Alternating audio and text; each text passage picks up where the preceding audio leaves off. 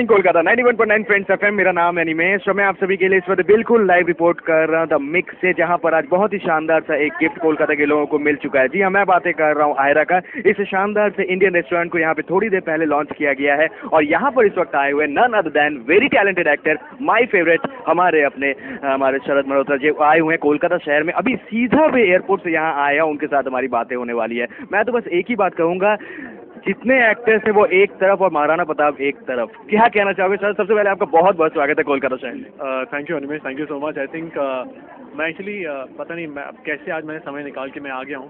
Uh, लेकिन uh, मुझे आना ही था बिकॉज़ मैं सच बताऊँ तो कैलकटा आने के लिए मैं एक्सक्यूज़ ढूंढता हूँ। और आज इससे अच्छा एक्सक्यूज़ क्या है कि कैलकटा को एक नया बहुत अच्छा फाइन डाइनिंग रेस्टोरेंट मिला है आयरा के नाम से।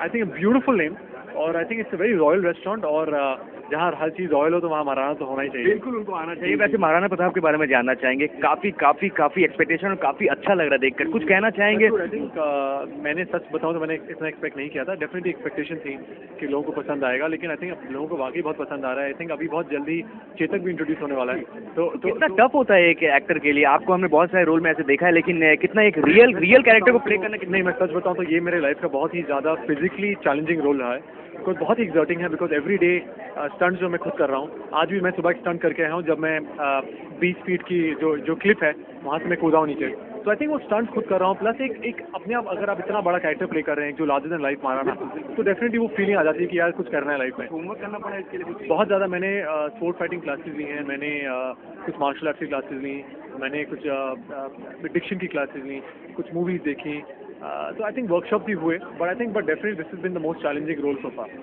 आखिरी सवाल आखिरी दो सवाल जानना चाहूँगा। फिटनेस के लिए क्या करते हैं शरद? आज हम फिटनेस लेकर बातें कर रहे हैं। देखिए फिटनेस सबसे ज़्यादा सबसे ज़्यादा जो है मैं मैं बहुत पानी पीता हूँ क्योंकि हम दिन भर धूप धूप में काम करते हैं। आउटडोर में बहुत काम होता है हमारा स्पेशली तो आई थिंक पानी के साथ साथ I think is very important कि आप फ्रेश फ्रूट खाएँ।